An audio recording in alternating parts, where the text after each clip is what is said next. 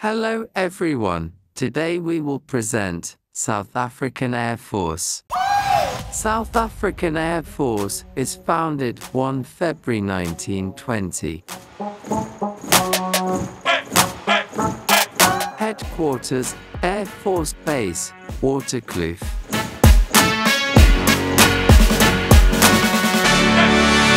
Chief of the Air Force, Lieutenant General Wiseman S.M. Mbambo. Size 10,815 active personnel. Current inventory to 143 aircraft.